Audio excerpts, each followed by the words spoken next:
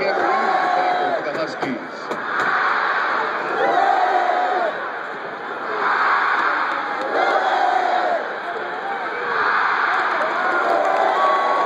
This Garoppolo, incomplete. Intended receiver, Jeff Lee.